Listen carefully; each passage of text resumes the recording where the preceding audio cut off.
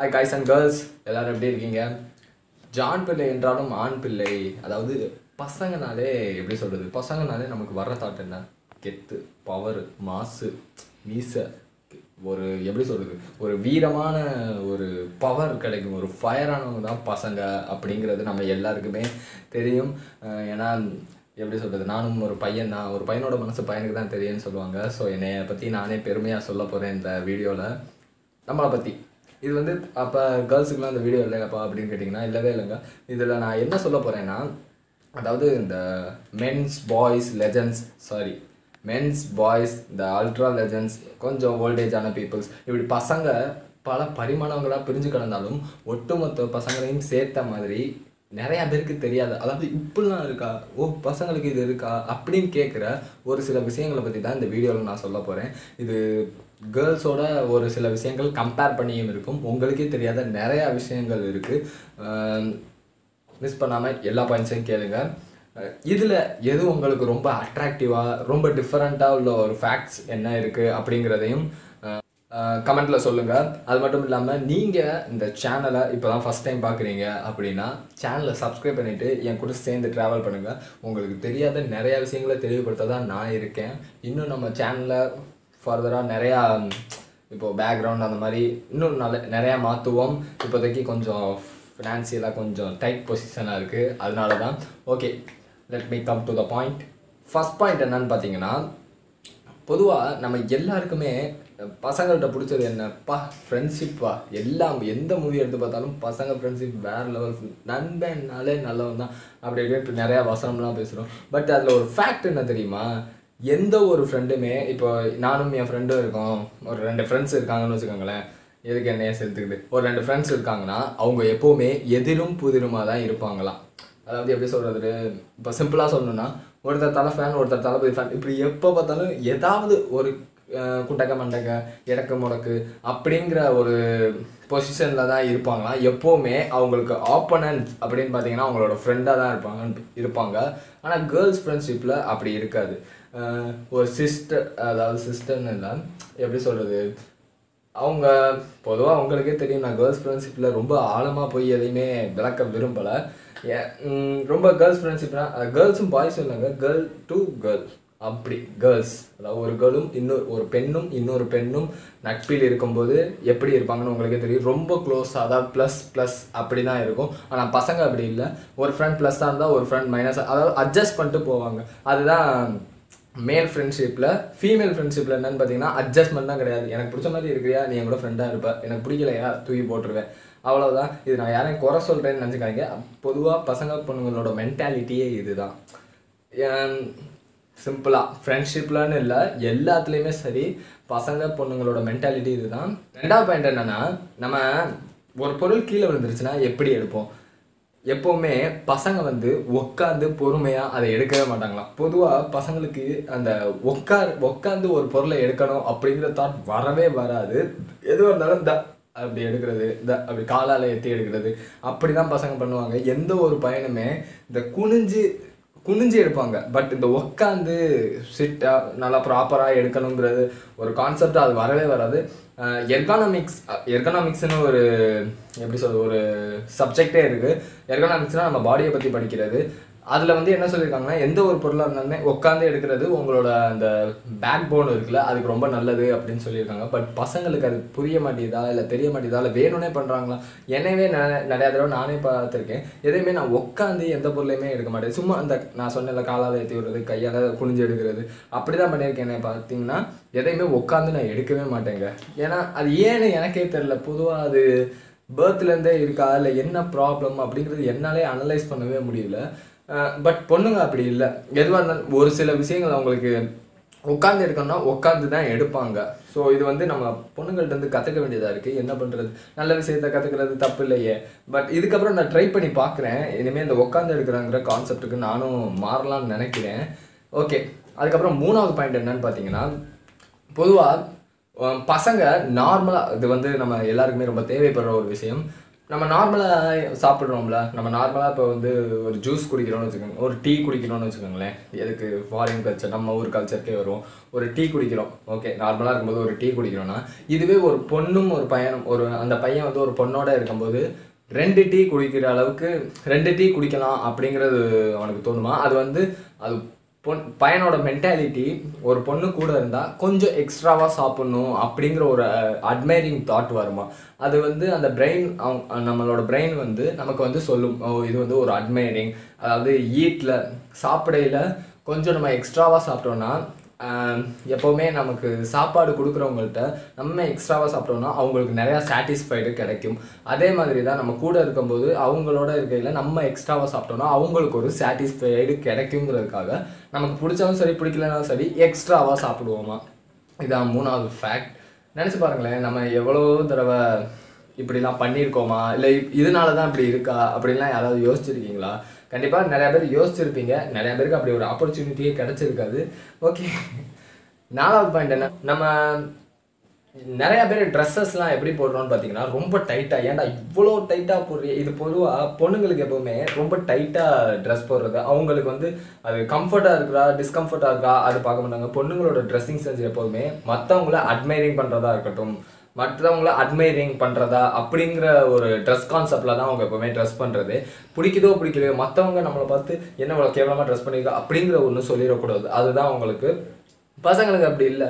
நான் க லுங்கியே கட்டிட்டு போனாலும் நீ பார்த்தா பாரு பார்க்கலனா போ எனக்கு இதான் கம்ஃபர்ட்டாக இருக்குது அப்படிங்கிற ஒரு கான்செப்டில் தான் பசங்க எப்போவுமே ட்ரெஸ் போடுவாங்க.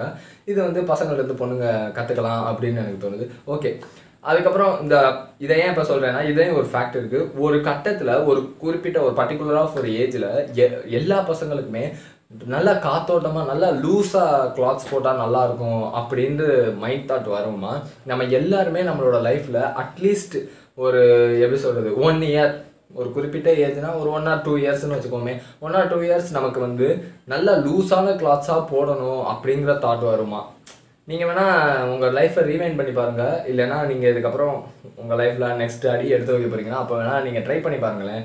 இந்த லூஸான கிளாத்ஸ் ஒரு தடவை போட்டு பாருங்கள் உங்களுக்கு அது உண்மையிலேயே எப்படி கம்ஃபர்ட்டாக இருக்கிறா இது எப்படி இருக்குது நமக்கு ஓகே பிடிச்சிருக்கா? அப்படின்னு நீங்கள் போட்டு பாருங்களேன். கண்டிப்பாக உங்களுக்கு பிடிக்கும்.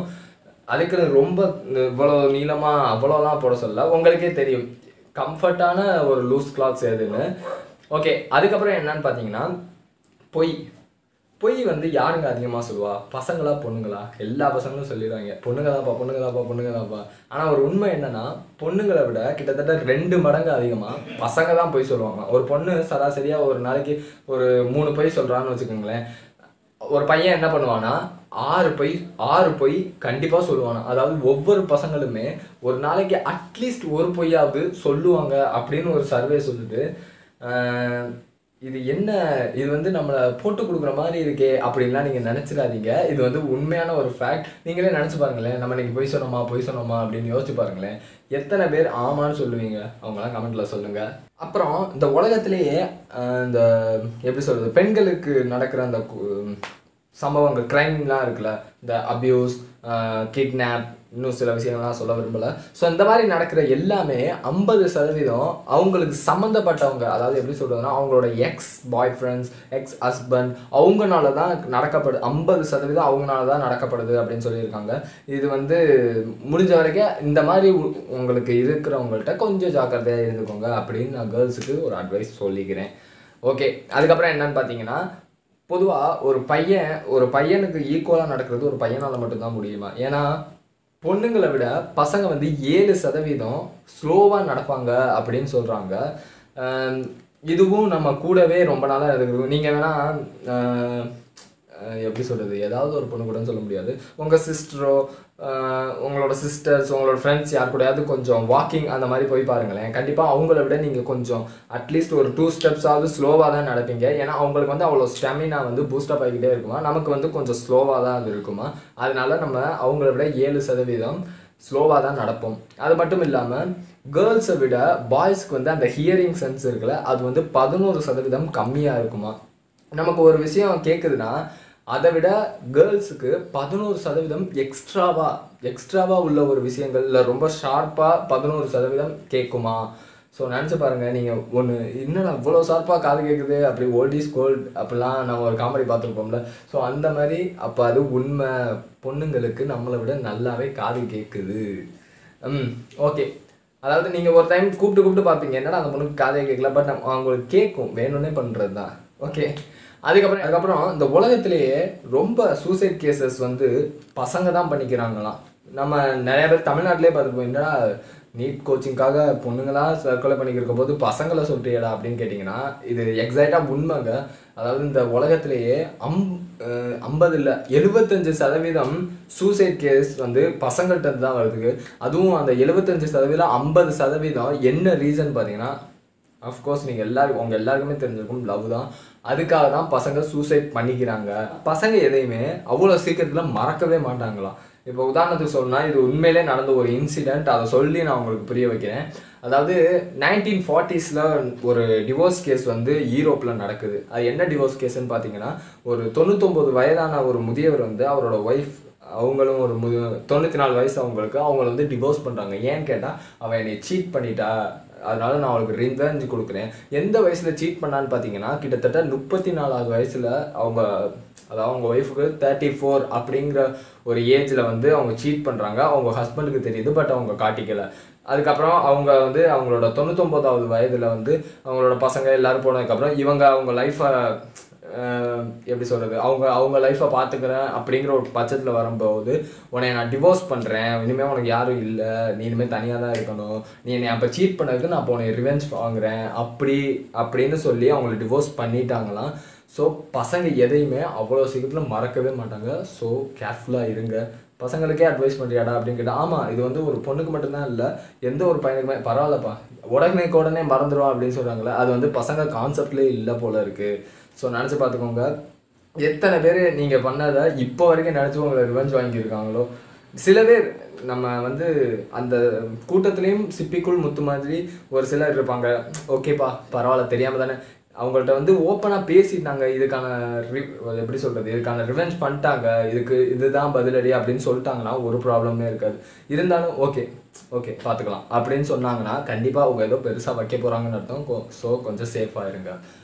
அதுக்கப்புறம் என்ன பாயிண்ட்னு பார்த்தீங்கன்னா இது வந்து எப்படி சொல்கிறதுனா எல்லா பசங்களுக்கும்னு இல்லை ஒரு சில பசங்களுக்குன்னு இல்லை மேக்ஸிமம் ஆஃப் பாய்ஸ்க்கு ஓகேவா அதாவது பெரும்பாலான பசங்க வந்து அவங்களோட லைஃப்பில் ஒன் இயரை ஒரு பொண்ணை அட்மைரிங் பண்ணுறதுக்குனே வேஸ்ட் பண்ணுறாங்களா கிட்டத்தட்ட ஒன் இயரை ஒரு வருஷம் ஃபுல்லாக ஒரு பொ- தன்னோட லைஃப்பில் அதாவது ஒரு வருஷம் ஃபுல்லானா ஒரு வருஷம் ஃபுல்லான்னு இல்லை. கொஞ்சம் கொஞ்சமாக பண்ணுவாங்கள்ல அதை மொத்தமாக சேர்த்து அவங்க லைஃப்பில் ஒன் இயர் டோட்டலாக ஒன் இயரை ஒரு பொண்ணை அட்மைரிங் பண்ண. சிம்பிளாக அவங்க பாசையில் சொன்னால் சைட் அடிக்கிறதுக்குன்னே ஒன் இயரை அவங்க வேஸ்ட் பண்ணிக்கிட்டு இருக்காங்க வேஸ்ட் பண்ணுறேன்னு சொல்ல முடியாது. ஒரு சிலருக்கு அது யூஸ்ஃபுல்லாக கூட இருக்கலாம். ஸோ இப்படி யூஸ்ஃபுல்லாக உள்ளதாக பண்ணிகிட்டு இருக்காங்க அவங்க ரிலேஷன்ஷிப்பில் இருந்தாலும் சரி அவங்களுக்கு மேரேஜ் ஆனாலும் சரி இது கண்டினியூ ஆகிக்கிட்டு இருக்கு அப்படின்னு சொல்கிறாங்க இது வந்து எப்படி பார்க்குறதுனா நினச்சி பாருங்களேன் ஒன் இயரை ஒரு பொண்ணை அட்மைட் பண்ணுறதுக்காக உங்களோட லைஃப்பை நீங்கள் வேஸ்ட் பண்ணிக்கிட்டு இருக்கீங்க. இது வந்து ஒரு ஃபேக்ட் வந்து இது வந்து நிறையா பேர்கிட்ட எடுத்த சர்வே இது ஏன் மேக்ஸிமம் ஆஃப் பாய்ஸ் ஒரு சிலருக்கு இருக்காதா அப்படின்னு கேட்டிங்கன்னா கண்டிப்பாக ஒரு சிலருக்கு இருக்காது.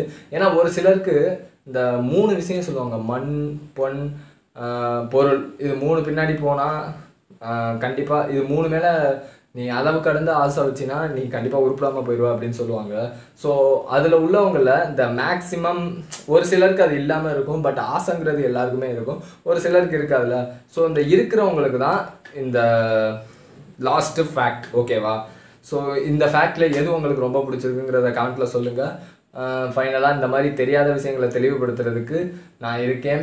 எனக்கு நம்மளோட சேனலுக்கு நீங்கள் சப்ஸ்கிரைப் பண்ணி உங்களோட சப்போர்ட் தெரிவிச்சுக்கிட்டே இருங்க. முடிஞ்ச வரைக்கும் தயவுசெய்து இப்போ தளர்வுகள்லாம் ஏற்படுத்தியாச்சு. இருந்தாலும் கொரோனாவோட அந்த எஃபெக்ட் இருந்துக்கிட்டே தான் இருக்குது முடிஞ்ச வரைக்கும் சேஃபாக இருங்க. ப்ளீஸ் பி சேஃப் இந்த வீடியோ பண்ணுற நானும் சரி இந்த வீடியோ பார்க்குற நீங்களும் சரி ஹீரோ தான். Be safe be unique be a hero boy